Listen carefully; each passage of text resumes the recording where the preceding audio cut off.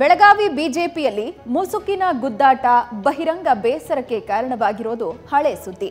ಹೀಗೆ ಜಾರಕಿಹೊಳಿ ಸಹೋದರರಿಂದ ಕುಂದಾನಗರಿಯ ಕಮಲ ಕಲಿಗಳು ಅಂತರ ಕಾಯ್ದುಕೊಳ್ತಾ ಇರೋ ನಡುವೆ ದಳದ ದಿಕ್ಕಿನಿಂದ ಗಾಳಿಯೊಂದು ಬೀಸಿದೆ. ಬಿಜೆಪಿ ಮನೆಯಲ್ಲಿ ತುಸು ಆತಂಕಕ್ಕೂ ಭಾರೀ ಚರ್ಚೆಗೂ ಕಾರಣವಾಗಿದೆ.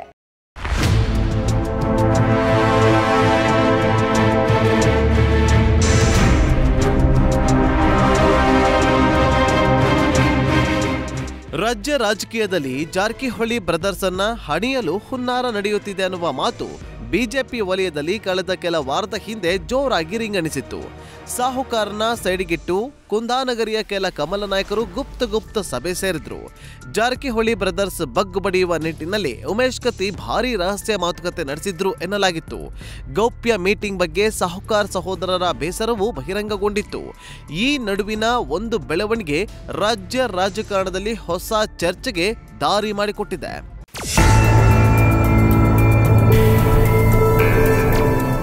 ಜಾರಕಿಹೊಳಿ ಸಹೋದರರಿಗೆ ಹೆಚ್ಡಿಕೆ ಆಹ್ವಾನ. ಬೆಳಗಾವಿ ಮುಸುಕಿನ ಗುದ್ದಾಟದ ನಡುವೆ ಅಭಯ. ಸಚಿವ ಸ್ಥಾನಕ್ಕಾಗಿ ಭಾರಿ ಹರಸಾಹಸ ನಡೆಸುತ್ತಿರುವ ರಮೇಶ್ ಜಾರಕಿಹೊಳಿಗೆ ಒಂದು ಕರೆ ಬಂದಿದೆ. ಹೀಗೆ ಬೆಳಗಾವಿ ಸಾಹುಕಾರನನ್ನ ನೆನೆಸಿಕೊಂಡು ಡಯಲ್ ಮಾಡಿದ್ದು ಬೇರೆ ಯಾರೂ ಅಲ್ಲ. ಮಾಜಿ ಸಿಎಂ, ಜೆಡಿಎಸ್ ಬಳಗದ captain H D Kumaraswamy. Ramesh ಜಾರಕಿಹೊಳಿಗೆ phone ಮಾಡಿದ್ದ ಎಚ್ಡಿಕೆ ಸುಮಾರು ಹದಿನೈದು ನಿಮಿಷಗಳ ಕಾಲ ಮಾತುಕತೆ ನಡೆಸಿದ್ದಾರೆ. ಈ ಅಚ್ಚರಿಯ ಬೆಳವಣಿಗೆಯಲ್ಲಿ ಮಾಜಿ ಸಿಎಂ ಮುಂದೆ ಸಾಹುಕಾರ್ ತಮ್ಮ ಮನದ ಇಂಗೀತವನ್ನ ವ್ಯಕ್ತಪಡಿಸಿದ್ದಾರಂತೆ. ಅತ್ತ ದಳಪತಿಯಿಂದಲೂ ಅಭಯದ ಆಶ್ವಾಸನೆ ಸಿಕ್ಕಿದೆ. ಈ ಬಗ್ಗೆ ನ್ಯೂಸ್ ಫಸ್ಟ್ಗೆ ಎಕ್ಸ್ಕ್ಲೂಸಿವ್ ಮಾಹಿತಿ ಲಭ್ಯವಾಗಿದೆ.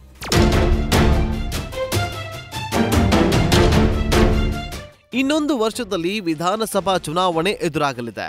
ಹೀಗಿರುವಾಗ ಮುಂದಿನ ದಿನಗಳಲ್ಲಿ ರಾಜ್ಯ ರಾಜಕೀಯದಲ್ಲಿ ಏನು ಬೇಕಾದರೂ ಆಗಬಹುದು. ಎಂತಹುದೇ ಪರಿಸ್ಥಿತಿ ಬಂದರೂ ಯಾವುದೇ ಕಾರಣಕ್ಕೂ ಎದೆಗುಂದಬೇಡಿ ಸ್ವಲ್ಪ ದಿನ ತಾಳ್ಮೆ ವಹಿಸಿ ಅಂತ ಕುಮಾರಸ್ವಾಮಿ ಧೈರ್ಯದ ಮಾತುಗಳನ್ನಾಡಿದ್ದಾರೆ ಅನ್ನುವ ಮಾಹಿತಿ ಸಿಕ್ಕಿದೆ. ಇನ್ನು ಈ ಹಿಂದೆ ಜೆಡಿಎಸ್ ಬಗ್ಗೆ ರಮೇಶ್ ಸಾಫ್ಟ್ ಕಾರ್ನರ್ ತೋರಿಸಿದ್ರು.